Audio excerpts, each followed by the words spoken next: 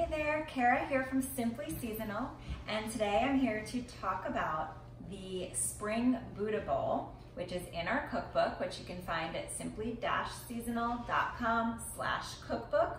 And as you will find, this recipe goes along with our gut health and poop episode. And um, Buddha bowls are something that I, I kind of just give it a name when I throw everything together. It's like dinner has to have a name, so I tried to just give it a name, but it's basically just taking what you have in the fridge and throwing it in there. Of course, it is important to have a stocked fridge to make something like this. And joining a CSA or a co-op is a perfect way to do this because then you look at all these veggies and you go, what do I do with this? Well, let's make a Buddha bowl. Um, we also have a winter Buddha bowl in the cookbook. And if you'll notice, the winter Buddha bowl is more like an ancient grain bowl because it has that base of the grain. But in the spring, it's a great time to um, take a break from carbohydrates and lighten up and let your body burn off those glucose stores, um, drop any excess weight from the winter. Um, it's also a great time to bring in a lot of leafy greens, bitter herbs, um, spices, things like this. Um, asparagus, we'll get into it. Um, and these are all the foods that are really gonna help with um, liver detoxification and cleansing and clearing like our job is to do in the springtime. So basically the difference between the um, between the winter Buddha Bowl and the spring Buddha Bowl is the spring one is gonna start with a giant, and I'm talking like unlimited amount of greens. So you know, if you think you're gonna be hungry afterwards from whatever you built, you didn't add enough greens because these will really fill you up and they're filling you up with nutrients, not just bulk, right? So we don't just want the volume, we want things that are full of nutrients because that's what's gonna tell your body that you're full. So make it gigantic. You know, when you go to a restaurant and they give you this gigantic salad, you're like, oh, I don't know if I'm gonna eat the whole thing, but then you do and you gobble it down and you're so full at the end. So make this for yourself at home. Now, you can add all sorts of spring vegetables to this. Um, so I have some steamed asparagus left over from dinner that I'm definitely going to put some of that on top.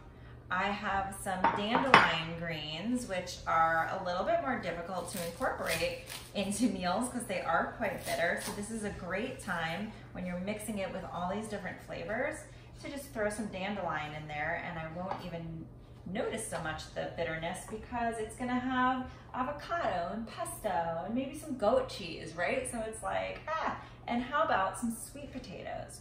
I love keeping roasted, just chunked up sweet potatoes, roast them in the oven. These are a great thing to have ready to go in the fridge. If you're like, I'm looking for something sweet, look, you can just kind of snack on these right out of the fridge. They taste so good. And they're also great to add to your Buddha bowls.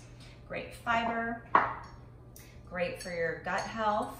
Um, artichokes are one of those astringent, really cleansing vegetables for the spring. So I'm gonna put some of those in here. And um, it's great to add some sprouts. Here I have these beautiful microgreens that I got from my co-op. We also want to think about different textures. So you want crunchy and creamy and you know salty and sour and bring in all the flavors, all the textures. Um, you can put a protein on here. It's spring is a really nice time to lay off um, the animal protein as well. I don't lay off it completely, but I do like to back off on it. So here's a great way to just have a vegetarian meal. So you might want to add some beans. Um, I'm going to add some sunflower seeds to this bowl and um, some radish and carrot is a really nice spring veggie. They can be a little harsh to eat as a whole. So I'm just gonna grate it right on there.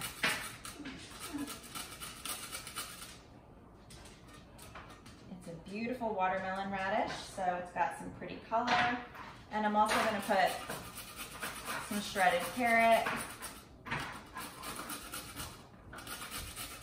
And then it's really important to add some fats because this is what's really gonna complete the meal and make it feel whole and filling.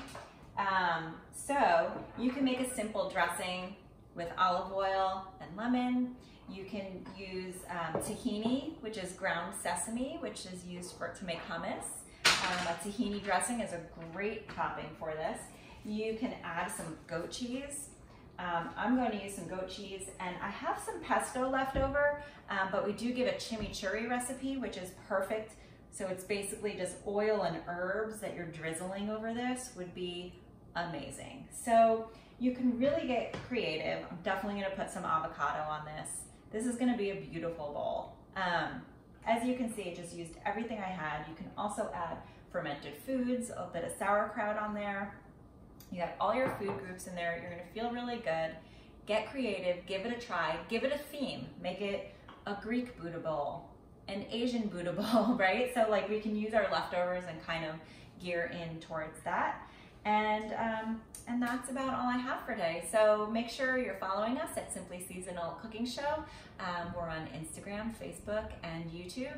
And head to our website, simply-seasonal.com. Sign up for emails. Sorry about the doggies. and um, look for our cookbook on the cookbook link. See you next time. Bye.